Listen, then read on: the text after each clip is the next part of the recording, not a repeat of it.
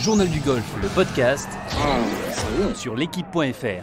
Salut à tous, bienvenue dans le podcast du Journal du Golf. Cette semaine, émission consacrée à l'Open de France, son changement de date, ce que ça change pour les joueurs. Le Tour européen a-t-il joué des tours à la Fédé? On en débat. Et pour animer avec moi cette émission, Arnaud Tius et Benjamin Cadiou du Journal du Golf. Salut messieurs. Salut JP. Salut JP. Alors euh, rappelons un peu les faits. Comment on en est arrivé là? Il y a deux ans, le Tour européen arrive avec euh, Hachena dans ses valises et fait miroiter le statut de Rolex Series pour l'Open de France. Ça, c'était il y a deux ans. C'était tout beau. Euh, finalement, Hachena s'est retiré. Le Tour européen n'a pas trouvé de sponsor pour garder ce statut de Rolex. Et patatras.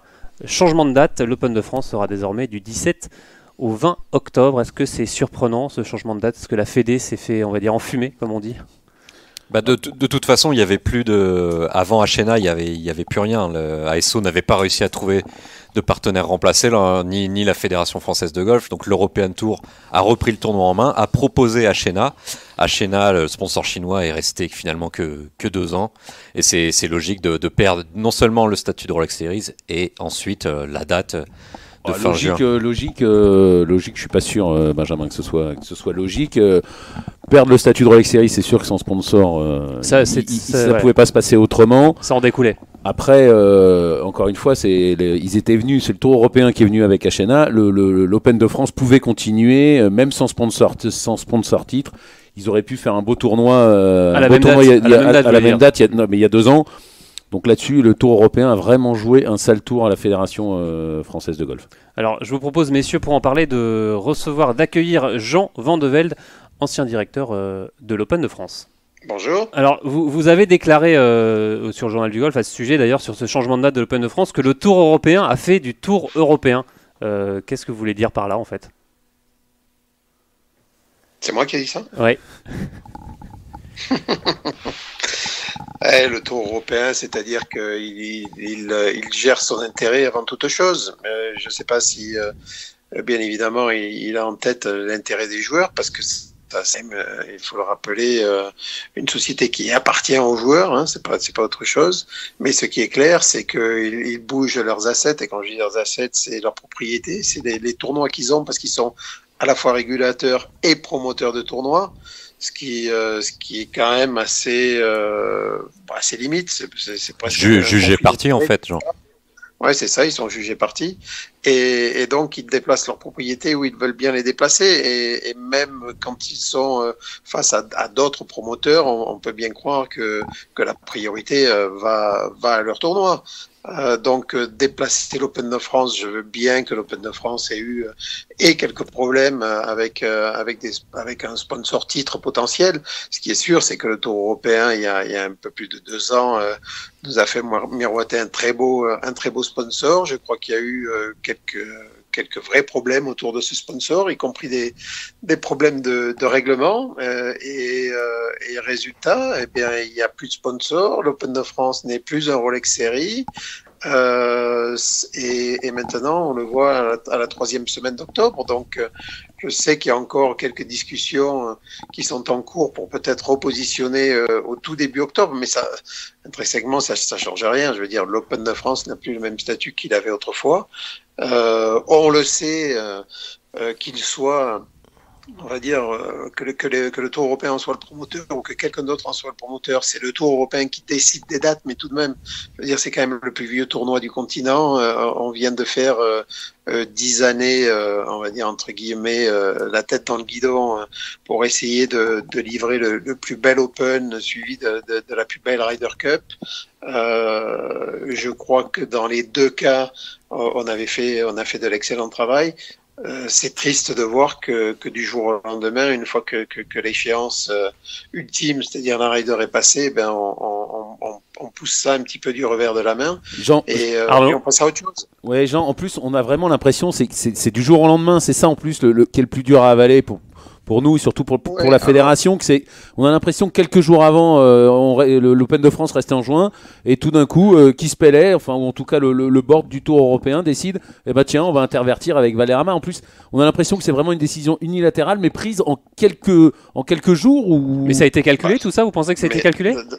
D'abord, euh, pas dans l'ordre, mais pour répondre aux plusieurs sujets, unilatéral, c'est certain. Le Tour européen on va dire décide du calendrier. Donc euh, le calendrier, qu'il soit promoteur des tournois ou pas, c'est eux qui décident de donner une date à un tournoi. Donc euh, donc déjà là, il y a, un problème qui est réglé. La deuxième chose, c'est qu'en plus aujourd'hui, ils sont promoteurs de cet Open de France. Euh, il me semble que c'est pour une période de cinq ans avec une révision au bout de trois. Trois, ça sera en fin d'année prochaine. Quoi qu'il arrive, ils, ont décidé de, déplacer et de jouer, on va dire, aux chaises musicales. Donc, euh, décision unilatérale, oui. Euh, décision qui choque tout le monde et, et qui a l'air assez impulsive, je suis pas vraiment sûr. Je veux dire, le, on sait que l'Open à Valderrama, euh, c'est joué, euh, il me semble que c'était en octobre, hein, corrigez-moi ouais. si j'ai tort. Mhm. Euh, on, on sait aussi qu'ils sont en, en grande discussion euh, euh, pour le faire passer Rolex Series. Euh, je crois savoir qu'il ne sera pas Rolex Series l'année prochaine, mais malgré tout, euh, pour des raisons de calendrier, pour des raisons de, de joueurs, on, on sait que Sergio Garcia est la, est la figure de, de ce tournoi à Valderrama. Eh bien, ils ont décidé de le, de le mettre au mois de juin. Donc, euh, donc oui, ça a été ça a été un choc pour beaucoup de personnes. Euh, je suis pas sûr que c'était pas quelque chose qui était orchestré déjà depuis quelques mois. Donc tout était, en gros, tout était calculé. La Ryder Cup euh, passée, euh, ça y est, l'Open de France redevient euh, en gros un événement secondaire. Non, j'irai pas jusque-là. Du moins, j'espère que non. Euh, ce qui est sûr, c'est que euh, ayant des difficultés euh, financières, n'ayant pas de sponsor titre, euh, ne pouvant pas assurer un, Ro- un Rolex Série pour l'Open de France, euh, ayant d'autres prospects, bah, ils ont ils ont décidé de, de faire de la sorte. Ce qui est ce qui est navrant, c'est que c'est qu'on laisse pas la, la chance au temps et que et que le, le- ouais que le Tour européen, qui aujourd'hui est le promoteur, donc c'est le c'est le responsable de, de ce qui se passe au niveau du de de délivrer un, un tournoi. Eh bien, le Tour européen n'a pas, pas tergiversé, je veux dire. Benjamin, pas une question euh, Non, non, là, pas attendu six mois, Ouais. un an de plus. Quoi. Ouais, j'ai l'impression que là qu'on accuse de, de plein de choses de l'European Tour. L'European Tour n'a aucun intérêt euh, à faire du mal à, à l'Open de France, puisqu'il faut rappeler aussi, et Jean, je- si tu peux nous le confirmer, le- l'European Tour prend 10%, je crois, de la dotation euh, totale du tournoi pour. euh, ils se sucrent là-dessus, donc ils n'ont aucun intérêt à ce que l'Open non, de non, France casse la figure. Excuse-moi, ça marche pas comme ça. Non, ça s'appelle un sanction fee. Donc, un sanction fee, c'est quelque chose qui se négocie. Même de, tous les tous les promoteurs ont des sanction fees différents. Euh, donc, c'est suivant, euh, le, on va dire l'état l'état de santé du tournoi. Non, l'Open de France n'est pas là pour s'aborder l'Open. Euh, le Tour européen n'est pas là pour s'aborder l'Open de France. Ce qui est sûr, c'est que le, le Tour européen a quand même une certaine responsabilité. Je veux dire, on n'arrive pas il y a deux ans en, en claironnant qu'on a un, un sponsor à 7 millions euh, qui a signé pour trois ans et au bout de deux relègue un tournoi en disant on n'a plus de sponsor et on va le mettre au mois d'octobre. Moi, je trouve que c'est assez léger.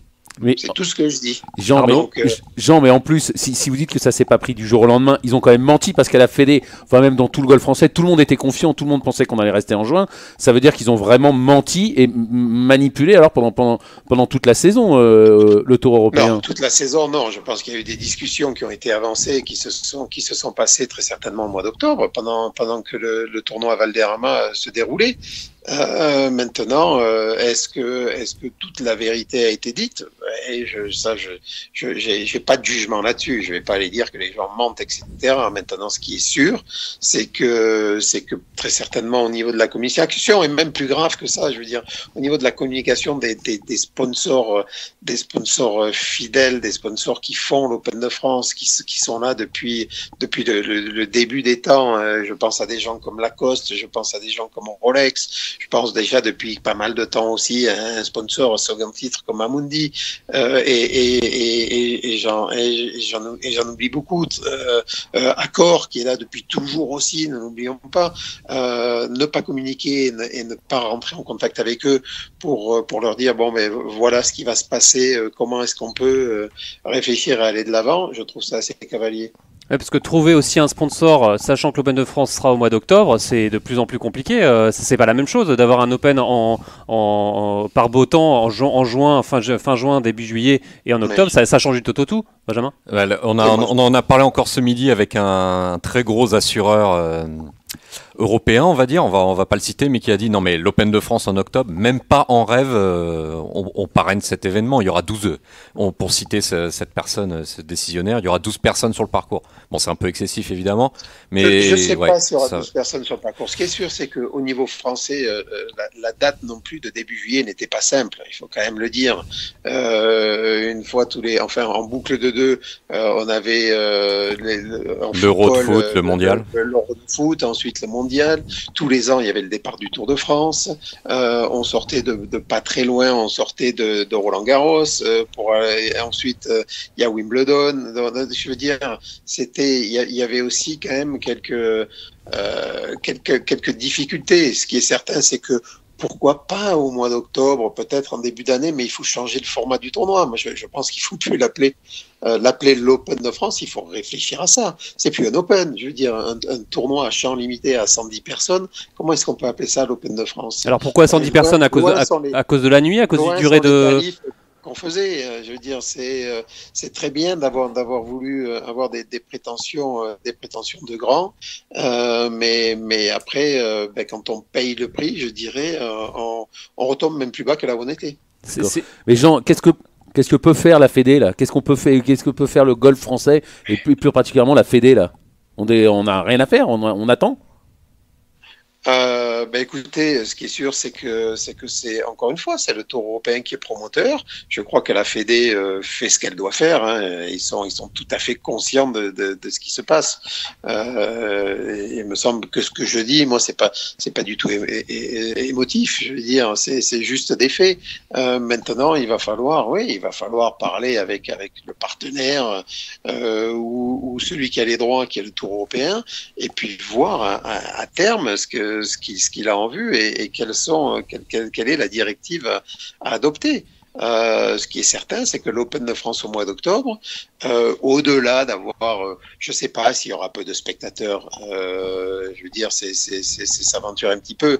En début d'année, en début d'année, on va dire, ou au retour des, vacances scolaires, il n'y a pas vraiment d'événements phares. En France, ça pourrait peut-être fonctionner. Ce qui est sûr, encore une fois, c'est que le modèle n'est plus le même. Plus du tout le même. Est-ce que Jean, euh, vous êtes vous inquiet pour l'avenir de, de l'Open de France à plus long terme? Bah, qui, qui ne le saurait pas? Je veux dire, celui qui passe du mois de, de- du mois de début juillet euh, avec, un, avec un plein champ, avec un, un tournoi à 7 millions qui s'appelle un Rolex Series, euh, avec des, des places qualificatives pour l'Open britannique et qui se retrouve à la troisième semaine d'octobre, euh, sans sponsor titre, euh, sans connaître exactement le champ des joueurs, euh, et, et en connaissant un petit peu les, les caprices de la météo et du temps qu'il va faire, euh, oui, je pense qu'il est, il est difficile de, de ne pas être euh, un tout petit peu, euh, sans être pessimiste, mais d'être un petit peu alarmiste. C'est vrai que ça fait un petit peu peur. Arnaud, une, une question Oui, Une dernière question, Jean. Vous, vous qui avez travaillé, qui avez été directeur de, de ce tournoi, là c'est le Tour européen qui est promoteur, mais qui va devoir quand même travailler avec la fédération. Ça va être compliqué cette année non, de, de, de- de travail entre la Fédé et le Tour européen, parce que là la confiance et les relations sont quand même, sont, sont quand même très mauvaises, ou en tout cas rompues ou, ou pas bonnes. Écoutez, ça, c'est pas forcément une question qu'il faut me poser, mais oui, en y, en y songeant, et en y réfléchissant comme vous, euh, on, on peut se dire que ça risque effectivement de, il risque d'y avoir de, de temps en temps quelques étincelles. Il n'y a pas de doute. Allez, merci et merci beaucoup euh, Merci, Jean, Jean. Euh, pour, euh, pour cet avis. Allez messieurs, on parle toujours de l'Open de France et du changement de date, euh, on vous le rappelle, hein, qui aura lieu du 17 au 20 octobre prochain. Et justement, on a posé la question aux, euh, joueurs du Tour euh, qui vont jouer, eux, cette, cette Open de France en marge de l'Afrasia Masters. Allez, on va commencer tout de suite avec Clément Sordet, qui lui se pose pas mal de questions. Le fait d'avoir changé la date de l'Open de France, c'est une bonne nouvelle pour personne.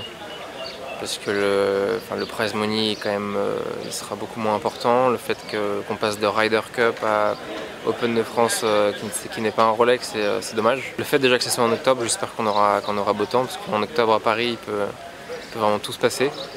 Donc je pense que ça va être très dur. Je pense que ça va être très dur, donc on verra, on verra comment ça se passe cette année. Alors euh, Clément Sordet le dit, hein, ça sera euh, forcément très dur, forcément plus dur cette, euh, cette Open de France et ce Golf National au mois d'octobre. Bah oui, Raphaël Jacquelin l'a dit dans, dans- dans sa chronique là, de- dans, le journal, dans le journal du golf. C'est sûr que le national, c'est quand même un parcours très compliqué. C'est compliqué au mois de juin quand c'est sec et quand euh, quand il y a des bonnes températures et que la balle est assez portée. Là, au mois d'octobre, si en plus il y a un peu de il y a un peu de tempête, ouais, ça va être euh, le, vainqueur, sera, autour du par et, ça se jouera beaucoup moins bien que les autres années. En tout cas, les scores seront euh, beaucoup moins bons, même si évidemment ils peuvent moduler les départs mais ils vont quand même pas tant les avancer que ça. Donc ouais, ça peut, ça peut être, euh, ça peut être très très dur. Benjamin, un, un avis sur la question? Vous, vous jouez de temps en temps le, le- le national Non, le mais a- après, il- les joueurs jouent euh, quelques, quelques jours avant le, Denis Links c'est dans des conditions euh, parfois, parfois très compliquées et, et ils s'en sortent et ils y retournent chaque année. Mais hein. c'est vrai qu'ils ont l'habitude de le jouer ce de Oui, et Links puis, il y, a- y la dotation qui va avec et qui motive euh, les joueurs à aller, euh, à aller sur ces trois, ces trois parcours euh, écossais. Exactement. Mais le- non, ça va être, euh, on en revient à ça, un, un point de vue business, ça va être très très compliqué de vendre ça aux, aux annonceurs et de faire, faire du RP euh, mi-octobre, c'est autre chose que le faire mi-juin, de, de remplir des tables de restaurants et, des, et de faire venir des, des partenaires Ah bah, et, les, des les- clients. les partenaires sont, sont fous furieux. Enfin là, j'en parlais de, de Amundi, euh, Rolex, Lacoste. Euh, et Accor, ils sont tous, euh, ils sont tous fous furieux de, de ce changement de date. Et encore une fois, sans Du concertation. changement de date, ouais, ou plutôt de ne pas avoir été au courant C'est Mais plus les, le mais fait de les pas deux, avoir non, été mais au courant. les, les deux, les deux quand même. C'est que là, ils sont mis devant le fait accompli. Ils l'apprennent euh, comme Achena, ils l'apprennent, euh, ils l'apprennent au, au dernier moment. Et Emirates, qui est quand même un concurrent d'Achena, enfin d'une des branches d'Achena, avait découvert que, le sponsor euh, arrivait. C'est ça qui avait, qui avait d'ailleurs failli empêcher le, Rolex, le, le- tournoi d'être d'être Rolex Series. Bah là, le Tour européen n'a retenu aucune leçon. Il fait exactement la même chose. Tous les partenaires sont furieux. Et c'est sûr qu'après une aussi belle Ryder Cup où tous, tous les sponsors qui étaient là, et donc tous ces sponsors-là, évidemment, ils avaient des entrées, ils ont fait venir du monde. Tout le monde comptait un peu capitaliser là-dessus et refaire venir des gens. Là, tout le monde est catastrophé par le fait de, voilà, de devoir inviter des, des gens, sans parler des spectateurs, évidemment, c'est peut-être le plus important, mais en tout cas, pour faire venir des, des clients, ça va être, être l'horreur. Alors en tout cas, au niveau du jeu, hein, on continue notre tour de table avec les, joueurs du tour. Benjamin Hébert, justement, lui, euh, va nous donner son avis. Euh, justement, c'est l'élève de Franck Lorenzo Vera. Lui s'attend également un gros défi au niveau du jeu. Je pense que ça va être dur, parce que bon, le golf national, on le connaît. Euh, déjà au mois de juin, quand il fait chaud, euh, pas facile. Donc, euh, donc là, au mois d'octobre, dans le froid, ça va être compliqué, je pense. Ça va être plus long, forcément, la balle va moins voler. Il y a de fortes chances que le parcours soit un peu plus humide aussi et que ça roule moins. Donc, donc ouais, ça va, être, ça va être challenging encore. Ça va rester un beau tournoi quoi qu'il en soit, un bon parcours, normalement très bien préparé comme d'habitude. Et, et voilà, mais c'est vrai que c'est euh, c'est un peu tard dans la saison, c'est dommage. Ça va être compliqué d'attirer des, des gros joueurs, je pense, surtout à cette période, en fin d'année, et, euh, et sur un tournoi qui a perdu en dotation. ouais.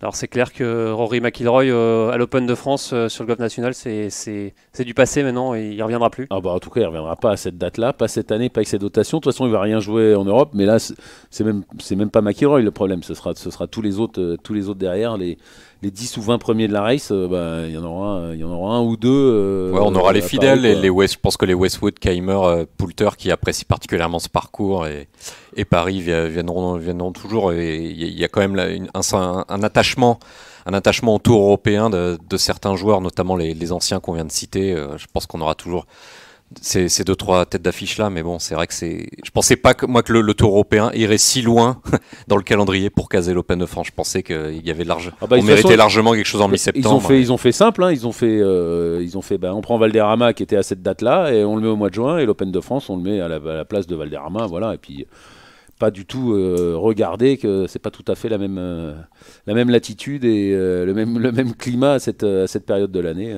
tant, tant Oh. pis pour l'Open et tant mieux parce que Jean le faisait remarquer. Il y, a- il y a aussi, c'est quand même ces trois places pour l'Open britannique qui changeaient aussi quand même pas mal les choses, qui était un, un petit, un carotte. petit- un- voilà, un petit plus dans le, dans le tournoi. Et là, quand ils, voilà, Valderrama, ils prennent tout quoi. En- ensuite, pour le parcours, pour revenir à ce que disait euh, Ben Hébert, ça restera évidemment un grand tournoi, même, même en octobre. Et pour les, les conditions de jeu, on peut s'adapter. On peut avancer les boules de départ. Les greens seront peut-être plus souples. Et on n'est pas obligé de mettre les roughs comme ils étaient à la Ryder Cup euh, en plein mois de septembre, en, enfin en, en pic d'été. Donc, euh, donc on pourra toujours s'adapter pour rendre le parcours jouable. Alors pour le moment, on a vu que des avis euh, négatifs hein, de- sur ce changement de date. Ben, Romain Langasque, lui, euh, trouve que c'est plutôt positif de, de changer de date. On l'écoute. Pas une mauvaise nouvelle, je pense. Hmm. Parce que, sincèrement, bon, le Pan de France, c'était un Rolex Series et un 7 millions. Et euh, on avait euh, au final une mauvaise date parce que tous les meilleurs joueurs souvent on faisait le break pour être prêt pour le British Open. Donc au final on avait un gros tournoi donc c'était bien pour nous parce qu'on avait une grosse dotation et finalement pas un si gros champ de joueurs. Mais bon là on sait jamais. Hein, euh, pour l'instant il n'y a pas eu trop d'annonces de, de, prize money donc à mon avis ils cherchent pour avoir le plus gros tournoi possible. Et si on arrive à avoir un prize money assez correct, je pense que c'est une date qui peut faire que bon, on aura un tournoi avec un champ de joueurs correct. C'est une période où il y a des tournois moyens un peu. Et ça peut être, tu vois, justement la période où les mecs, bah, ils vont sauter un tournoi moyen pour faire l'Open de France et plus sauter l'Open de France pour faire le British Open. Donc, à voir. C'est dur de donner une opinion, mais moi je pense pas que ce soit la pire des nouvelles. Alors Romain Langasque le dit, hein, c'est pas peut-être pas la pire des nouvelles. Est-ce qu'on peut imaginer euh, justement que, bah, que des joueurs fassent, euh, on le rappelle, hein, l'Open de France, juste après l'Open d'Italie qui est Rolex Series, euh, on peut imaginer les joueurs faire le doublé Italie-France? Enfin, moi, je ne sais pas s'ils feront le doublé. En tout, moi, je crois pas au, je crois pas au grand nom et surtout. C'est naïf de la part de, Romain Langasque? oui, Romain, il, qui parle très très bien. Il était chroniqueur l'année dernière dans le, dans, le, dans le, journal du golf. Il dit des choses très sensées tout le temps sur sa carrière. Là, euh, j'espère que c'est lui qui aura raison et moi tort, mais moi j'y crois pas du tout. Euh, L'Open de France, en plus, il va être à quoi? Peut-être 2 millions d'euros? On espère 2 millions d'euros, c'est même pas sûr. 1 million et demi d'euros probablement. Enfin, en tout cas dans ces eaux-là. Malheureusement, c'est comme ça qu'il faut compter actuellement euh, sur le dans le golf professionnel. Il faut parler de la dotation. Et ben à ce, prix-là, vous faites venir personne au mois d'octobre à Paris. Mais alors ah, absolument personne. Après la dotation, la dotation moyenne sur le tour, quand, quand on regarde, vous avez par exemple pendant quasiment tout le mois de février que des tournois à 1 million, 1 million et demi. À part les mastodontes. Ouais, mais vous avez personne sur ces tournois-là, euh, Benjamin. Les oui, non, mais ça sera pas. C'est avec de la de, de, de monnaie, avec du. Ouais, mais pour, parler de façon globale, il n'y a pas que l'Open de France qui galère. Hein. Il y, a beaucoup de tournois qui sont euh, largement en dessous de, de 2 millions d'euros. On n'est plus sur, le, sur les âges d'or d'il y, y, a une dizaine d'années, évidemment, mais. Donc euh, l'Open de France attirera aussi les joueurs qui vont devoir sauver leur carte. Des... Ah non, non, mais ça, que, ça, peut être il y aura 120 joueurs professionnels qui jouent très bien au golf, ça c'est sûr, mais il n'y aura aucun grand nom. Aucun. Alors, la, bonne nouvelle pour l'Open de France, ça sera quoi Ça, serait une dotation minimum de quoi De 3 millions 3 millions, ça serait une bonne nouvelle déjà ou Ça serait un miracle. C'est un miracle. De tout ce qu'on a entendu, ils arriveront, s'ils arrivent à 2 millions, mais encore une fois, euh, c'est, là on, parle d'argent, désolé, on voudrait parler d'autre chose, mais les sponsors qui déjà mettaient de, qui mettaient de l'argent n'ont pas envie, n'ont pas envie d'en remettre. Vous imaginez. Ils étaient au mois de juin, ils ont eu une Ryder Cup, ils se disent ouais, enfin on va capitaliser sur la Ryder Cup, et là euh, patatras, on vous met au mois d'octobre personne va mettre un centime. En tout cas, il n'y a pas un, pas un sponsor titre qui va venir. Enfin, ça va être compliqué. Et en tout cas, les anciens, les Amundi, Rolex et compagnie, tout ça, ils vont, ils vont rien mettre. Ils vont pas mettre grand chose. Euh, juste pour parler de, de, façon plus globale, on sait aussi que l'Open de France est victime des changements de calendrier, que l'European Tour est contraint de, suivre le mouvement dicté par, par le PGA Tour. On rappelle que le, notamment le majeur, le, PGA Championship, va passer au mois de mai du côté de, de, Best Page cette année. Donc tout est bouleversé. Il y a eu l'apparition des Jeux Olympiques aussi. Le Players qui va aussi changer de date. Voilà. Et donc l'European Tour euh, suit le mouvement du PGA Tour et l'Open de France suit le, le, le mouvement de l'European Tour. Euh, en fait, on est en train de se rapprocher de plus en plus d'un World Tour.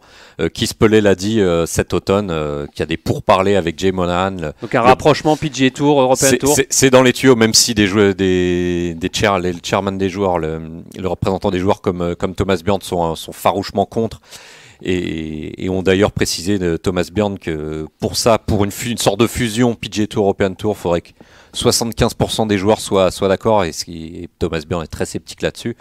Donc voilà, c'est une sorte de, de, jeu de chaise musicale, de domino, je sais pas comment on peut appeler ça, mais c'est pas que de la faute euh, je veux dire des, bah, Enfin, ils pouvaient quand même, ils pouvaient quand même laisser l'Open de France à la place de à la date qu'ils ont donnée à Valderrama pour, parce que Valderrama année, au moins pour, pour, service rendu, au moins pour cette année, ils pouvaient. Mais on parle de business, Arnaud. Il y a le, service rendu, vous savez, en plus avec bah, des, Britanniques. Non, mais je suis, je suis bien d'accord, mais là-dessus et, et, sans concertation, parce qu'apparemment la décision a été prise de façon unilatérale et la fédération française est tombée de, de sa chaise ou je sais pas comment on dit, ils ont appris ça au dernier moment.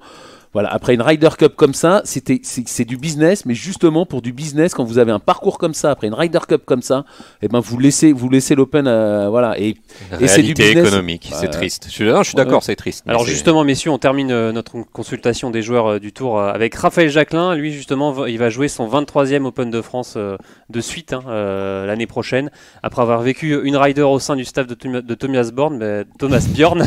Bien. il le dit que ça sera forcément un peu plus fade cette Open de France la règle était un peu, un peu connue. Hein. Dès que c'est plus un Rolex Series, on perd la date. Donc euh, c'est dommage, mais bon. Après, pour nous, ça reste toujours l'Open de France.